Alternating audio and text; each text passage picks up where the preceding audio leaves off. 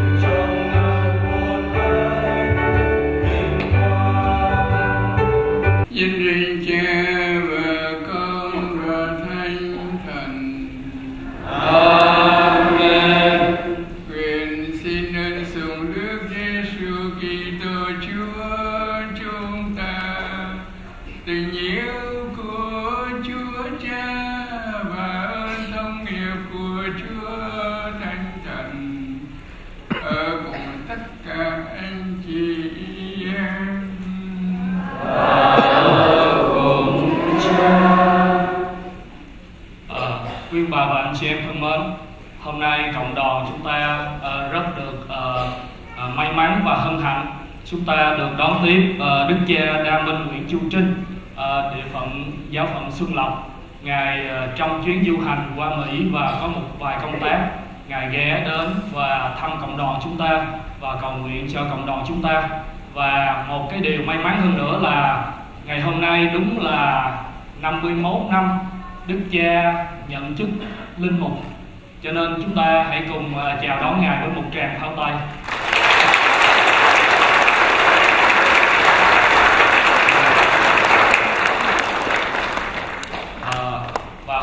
Đức ông ờ, mới nghe đức cha tới thăm giáo xứ mình đức ông cũng vào uh, chào đón và đồng tế luôn. Mặc dầu đức ông không hiểu tiếng việt nhưng mà đức ông cũng tới. Uh, thank you monsignor for being here.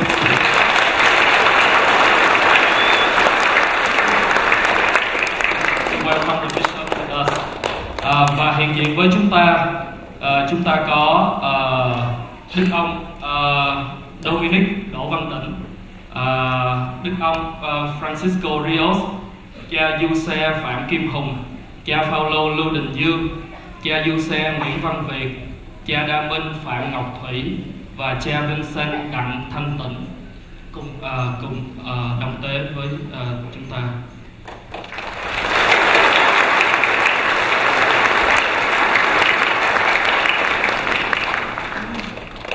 Lời đầu tiên con xin chân thành cảm ơn Đức Cha Đa Minh Ngài đã ưu ái dành cho con vinh dự được thay mặt Ngài chia sẻ lời Chúa với cộng đoàn. Ngài rất muốn à, được chia sẻ lời Chúa với cộng đoàn nhưng vì à, đi một quãng đường dài từ Việt Nam qua đây và cũng vừa tới San Jose chiều nay vì vậy mà ngài còn mệt cho nên uh, ngài đã xin con thay ngài để chia sẻ lời Chúa với cộng đoàn. Kính thưa cộng đoàn phụng vụ Hôm nay chúng con rất vui được đến đây để thăm giáo sứ Đức Mẹ là chúng tượng hương. Đây là lần thứ hai chúng con đến đây. Vì vậy cái cảm giác không còn xa lạ nữa nhưng rất thân quen. Ngay khi bước vào cửa nhà thờ, chúng con gặp thấy các vị lớn tuổi đứng đón chào chúng con, đặc biệt là có cả trăm em thiếu nhi đang xếp hàng chuẩn bị vào nhà thờ cùng với các anh chị huynh trưởng giáo lý viên chào đón chúng con. Rồi còn có đức ông chánh sứ, đức ông lĩnh và quý cha cũng như cha phó chúng con rất cảm động chúng con như thấy niềm vui mừng Chúa phục sinh được nhân lên gấp bội khi được hiện diện cùng với cộng đoàn trong thánh lễ này để dâng lời tạ ơn Chúa. Còn đến đây, như Thánh Phêrô trong bài đọc một hôm nay, để thưa với cộng đoàn và làm chứng với cộng đoàn qua các bài đọc sách thánh hôm nay, đặc biệt qua bài tin mừng, con đã gặp được đấng phục sinh. Con có thể nói điều đó một cách chắc chắn và xác tín. Bài tin mừng chúng ta vừa nghe được thánh sử Luca ghi lại và thường được gọi là trình thuật hai môn đệ trên đường Emong. Đây là một trình thuật độc đáo và ý nghĩa độc đáo bởi vì trong các tác giả tin mừng, chỉ có Luca ghi lại, mà không chỉ ghi lại ờ, bình thường đâu, mà ghi lại một cách rõ nét tỉ mỉ về biến cố hai môn đệ trên đường Emmaus.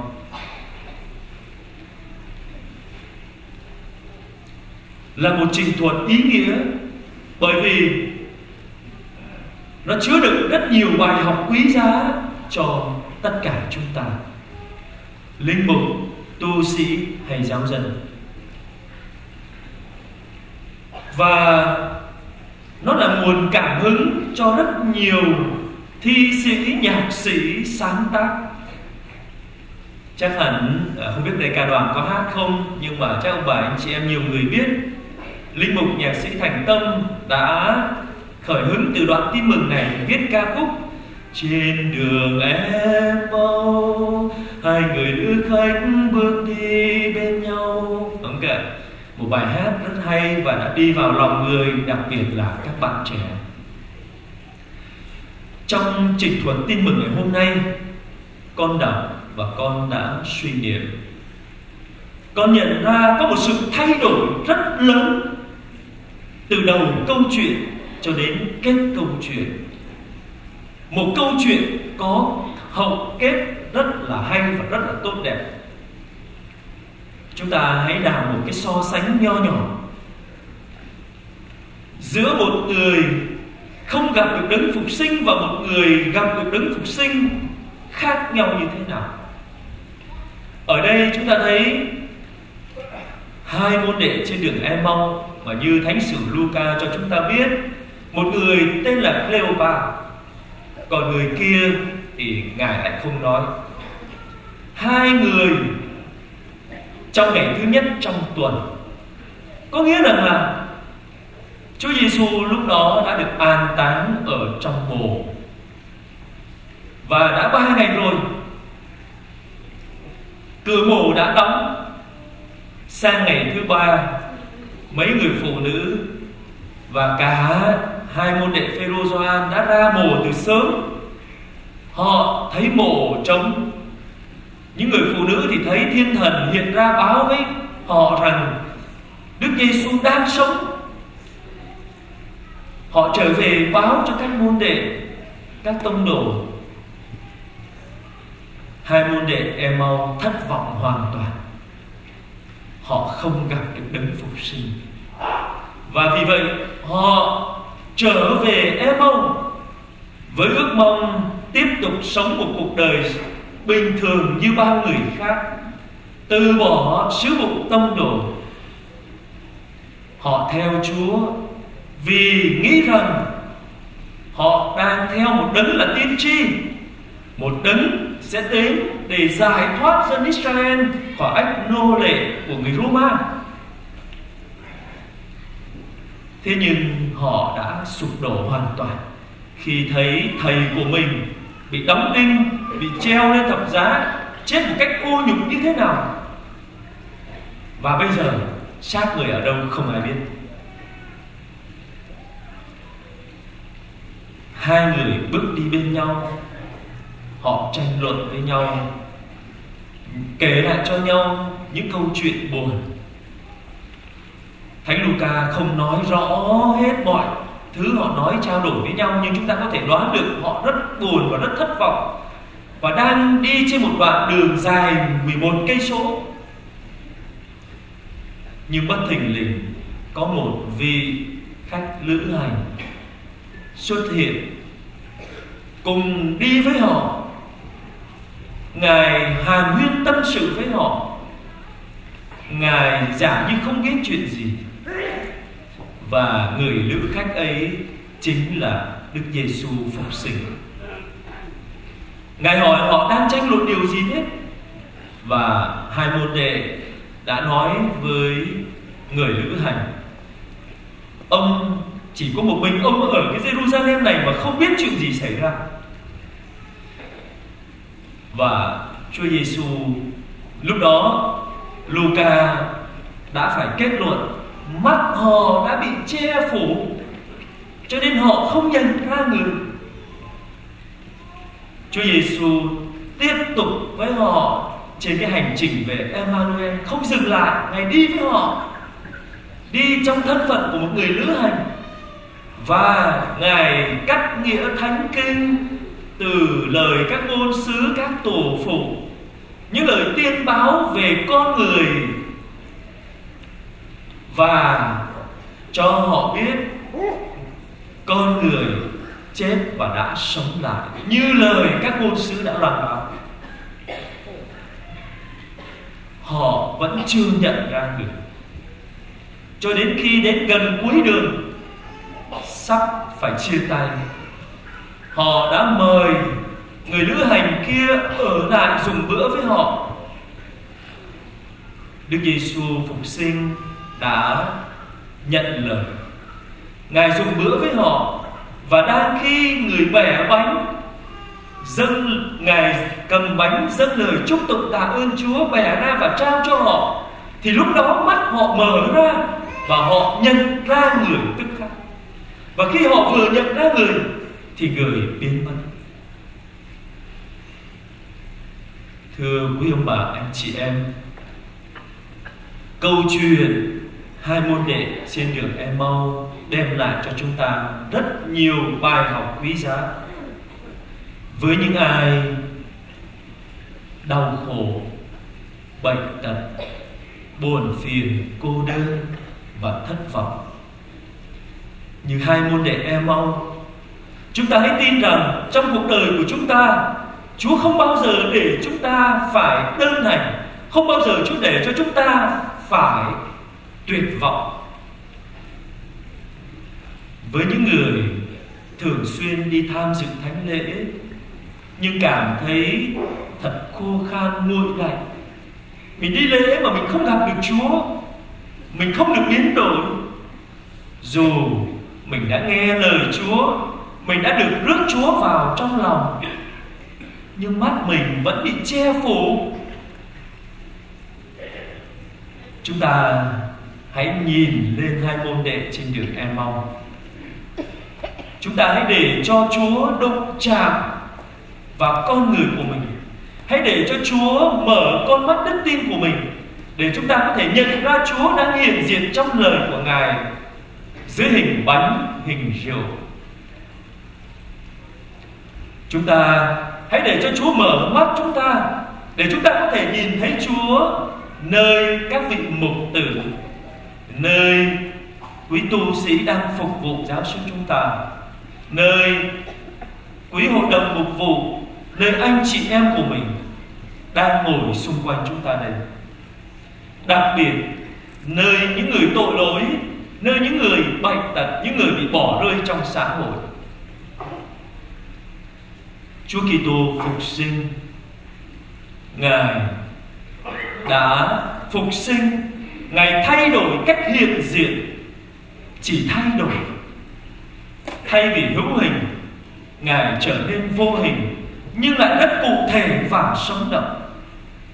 Lời Chúa chúng ta nghe, Mình Thánh Chúa chúng ta đón nhận vào trong tâm hồn.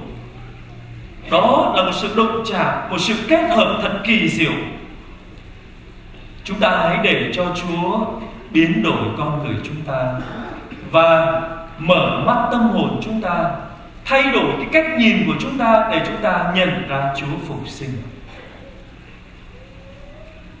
Thay mặt cho đức cha đa minh cũng như giáo phận xuân lộc chúng con cảm ơn quý đức ông, quý cha, quý tu sĩ và cộng đoàn hôm nay đã hiệp lòng với chúng con để cầu nguyện cho Đức Cha Đa Minh của chúng con nhân dịp mừng 51 năm linh mục. Xin cộng đoàn cầu nguyện cho Ngài. Ngài là một vị tông đồ của Chúa, nhưng cũng là tông đồ của Đức Mẹ.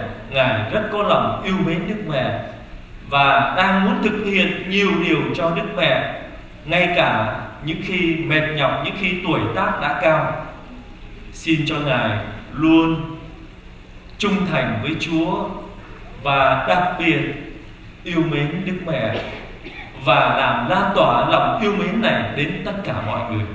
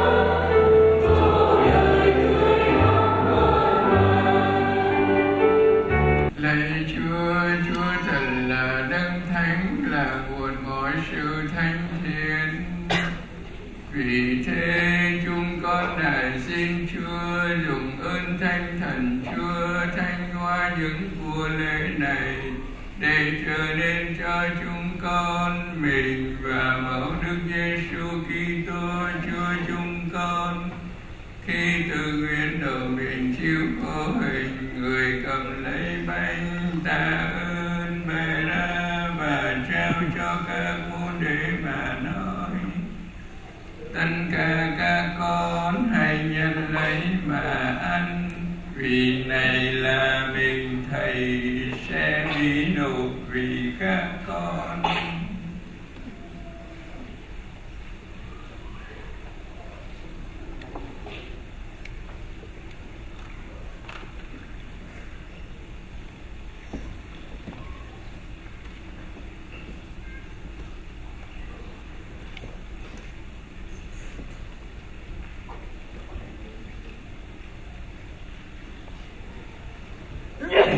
Trời thương ơi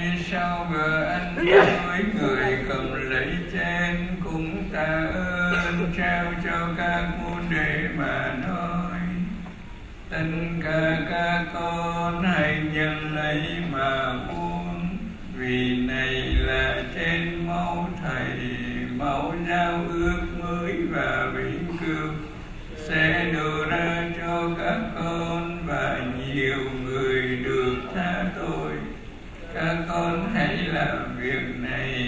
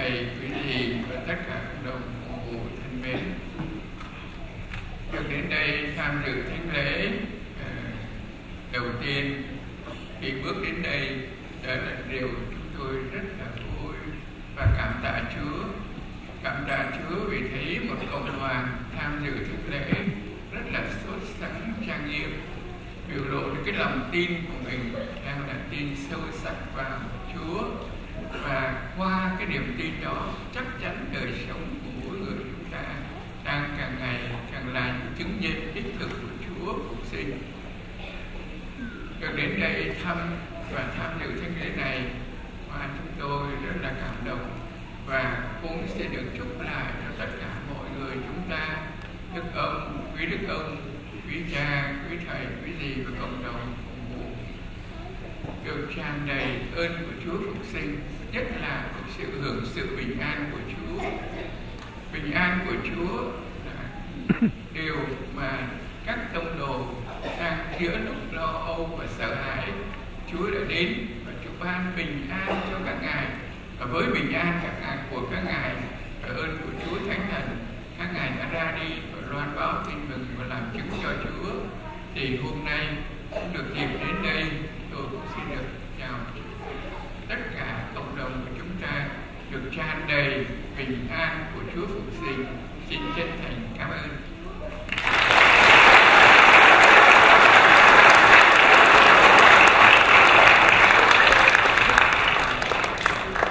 Ờ, trọng kính ờ, đức cha Đa Minh xin đại diện ờ, đức ông ờ, ờ, Francisco là chánh sứ đây. Cùng với cộng đoàn, con cũng cảm ơn đức cha. Con không biết là đức cha vừa mới bay từ Việt Nam qua đây giàu cho rất là mệt mỏi mà cha vẫn ưu ái cộng đoàn, vẫn ghé đây để dâng lễ cầu nguyện cho cộng đồng của chúng con. Và cho chúng con cũng được cơ hội để mừng 51 năm thụ phong linh mục của đức cha. Đức cha ưu ái chúng con quá à, chúng con không biết gì lấy gì để cảm ơn. À, chúng con chỉ có một vài bó hoa để tặng đức cha. Và à, đây là cái lòng à, tri ân và quý mến của cộng đoàn của chúng con dành cho đức cha. Xin đức cha nhận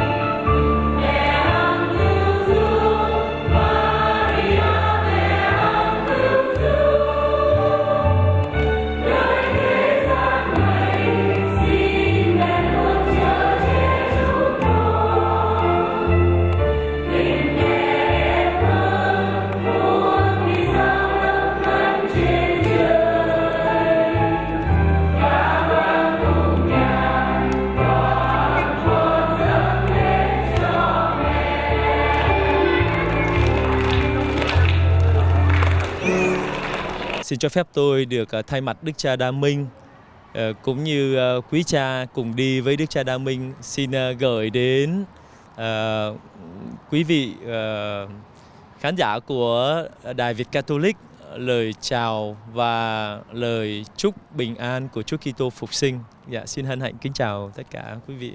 Thưa cha, à, theo con được biết thì dự án của Đức cha Nguyễn Chu Trinh là cha mong mỏi xây một cái trung tâm hành hương từ năm 2015 thì từ cái ngày đặt viên đá đầu tiên đến đây thì thấm thoát cũng đã được mấy năm thì con xin cha chia sẻ cho toàn thể cộng đồng dân chúa chúng con được biết là cái dự án của mình đang được thực hiện tới đâu rồi ạ? Dạ vâng. Dạ thưa chị, uh, Trung tâm Đức Mẹ Núi Cúi được thành lập ngày 31 tháng 3 năm 2014 và uh, như đã có lần tôi đã thưa với chị là trung tâm này được uh, xây dựng uh, nhân dịp mừng uh, kỷ niệm 50 năm thành lập giáo phận. Và lễ đặt viên đá đầu tiên xây dựng trung tâm này đã diễn ra vào ngày 18 tháng 9 năm 2015 trong bối cảnh của năm Thánh mừng 50 năm thành lập giáo phận. À, đến nay thì ờ, như chị vừa nói là cũng đã à, hơn một năm rồi. Vâng, thì công trình này đã thực hiện như thế nào? À, công trình này hiện nay à, chắc có lẽ qua các phương tiện truyền thông thì chị cũng thấy à, từ ngày được thành lập thì đã có những đoàn hành hương, có những ngày lễ của giáo phận ở tại uh, trung tâm Đức Mẹ núi Cúi. Uh, chúng tôi đã xây dựng những cái công trình tạm thời, trong đó có một tượng đài Đức Mẹ, một à, nhà nguyện và một hội trường rồi ờ, một cái ờ, nhà tạm để đón khách. À, thì ờ, trong thời gian mà chờ đợi để được nhà nước giao đất và cho phép xây dựng những cái công trình chính thức à, thì uh, chúng tôi được phép để dựng những cái công trình tạm như thế. Uh, trước khi chúng tôi ờ, qua đây thì chúng tôi đã uh, được nhà nước báo tin, chính quyền báo tin là uh, sắp sửa giao uh, vâng giao đất cho chúng tôi để xây dựng. Và chị chính quyền cũng đã uh, đề nghị chúng tôi gửi luôn cả cái dự án thiết kế uh, cái cái bản thiết kế dự án cái, cái công trình này cho họ để họ cho phép xây dựng trong một ngày gần đây. Dạ vâng. Dạ. Xin cha giới thiệu là trên tay của cha thì cha đang cầm một cái DVD hay là một cái gì thì cái xin cha à? vâng xin cha giới thiệu cho chúng con được biết. Dạ, dạ vâng. Ờ, như chị cũng biết rồi năm nay thì ờ, cả giáo hội chúng ta mừng kỷ niệm 100 năm Đức Mẹ hiện ra tại Fatima và riêng đối với giáo phận Xuân Lộc thì mừng 3 năm thành lập trung tâm Đức Mẹ núi Cúi à, năm 2014 2017 Ờ, khởi đi từ cái biến cố lớn này ờ, và nhất là gợi ý của Đức cha Đa Minh Nguyễn Chu Trinh. Ngài có một cái tâm hồn yêu mến Đức Mẹ yeah. Và chúng tôi đã quyết tâm là thực hiện cái CD này, CD với cái tựa đề lời mẹ nhắn nhủ. À, chúng tôi tập hợp à, 13 ca khúc. Ở trong đó có à, phần lớn là những ca khúc rất là quen thuộc mà nhiều thế hệ người công giáo Việt Nam thuộc làm lòng rồi. Từ có khi từ bé như như như em là em thuộc từ bé rồi cái thông điệp mà chúng em muốn uh, thực hiện cái đĩa này và gửi tặng đến những người nghe chỉ với mục đích duy nhất là chỉ để tặng thôi. Uh, chúng em liên kết hai cái sự kiện sự kiện 100 năm trước đây tại Fatima và ờ, cái công trình núi cuối. Uh, sứ điệp của Đức Mẹ tại Fatima cách đây 100 năm vẫn đang được giáo hội uh, uh, mời gọi tất cả mọi Kitô hữu ờ, nhắc nhớ cho mọi Kitô hữu hướng về Fatima và thực hiện cái sứ điệp này. Thế thì ở tại trung tâm Đức Mẹ núi cuối của chúng em ờ, các thánh lễ, những cuộc tĩnh tâm khách hành hương đến đó cũng để được ờ, nghe lại cái sứ điệp này thì như vậy thì trung, tâm Đức Mẹ núi Cúi cũng là một cái nhịp cầu một cái nơi Ờ, có thể nói như là một Fatima thứ hai để mà truyền thông cái sứ điệp này. Sứ điệp yêu thương của Chúa sứ điệp ờ, của mẹ Fatima. Hãy ăn năn đền tội hãy tôn sùng trái tim mẹ và siêng năng lần hạt mân côi. Ờ, như vậy với những người không thể đến Fatima được những người không có điều kiện đi hành hương ở những cái trung tâm lớn thì họ có thể đến núi cuối hoặc là hướng về Đức Mẹ Fatima qua những cái ca khúc như thế này. Dạ, cũng rất là đơn đơn sơ vậy thôi chị ạ. Dạ. À, xin cho phép em được thay mặt Đức Cha Đa Minh để gửi tặng ờ, chị một cái CD chứ nhỉ? À, vâng. Dạ. Dạ cầu xin những công việc làm nhất là sự hy sinh của đức cha cha đã không ngoại đường xa và đến đây thứ nhất là thăm viếng cộng đồng chúng con cũng như là liên kết cái tình mà yêu thương trong cái bối cảnh của lòng thương xót Chúa ngày hôm nay. Con xin cảm ơn cha nhiều. Xin cha Chúa chúc lành cho cha. Xin ờ, cảm ơn chị và xin cảm ơn ờ, ban giám đốc cũng như tất cả quý vị của ờ, Đài Việt Catholic. Xin chúc quý vị sức khỏe và ơn Chúa. Xin chân thành cảm ơn. Đoàn con tiến dâng mẹ ngàn muôn khúc ca mẹ mân côi tươi đẹp giữa bầu trời hoa. Maria, vầng trăng trong sáng ngọc ngà. Lạy mẹ mẹ thiên chúa phúc ân tràn hòa. Chúng con xin hát mừng chào kinh mẹ đầy ân phúc tỏa cao hiến vinh. Với câu kinh thắm tình, đoàn con dâng mẹ mân khôi ngàn hoa tươi xinh.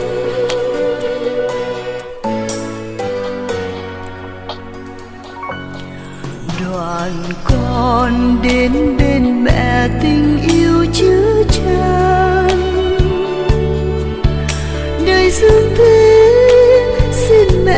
vỗ về ủi an.